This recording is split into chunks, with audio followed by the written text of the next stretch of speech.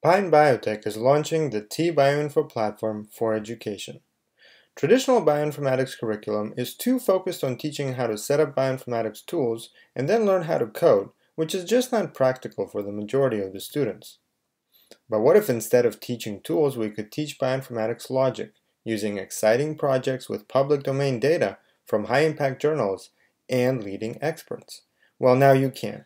T-Bioinfo is an intuitive, easy to use visual interface for all types of omics data analysis. The platform covers a wide variety of data types with a consistent user interface and intuitive machine learning tools. The point-and-click pipeline builder hides the complexity and makes the system accessible for anyone teaching the analysis logic.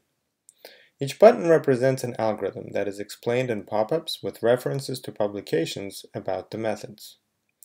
These tools are incorporated into our educational curriculum of courses and tutorials covering major topics with short lessons and quizzes.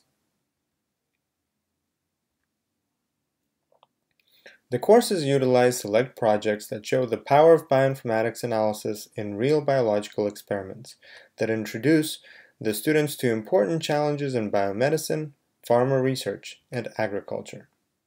At the end, a successful project that a student completes provides a certificate that will be supported by our academic partners.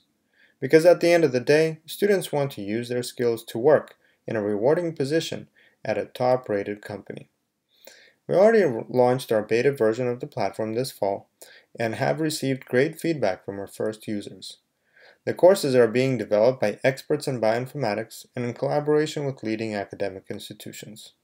We are excited to welcome you to join by becoming a student, teacher, or partner in this project and help us train the next generation of bioinformaticians.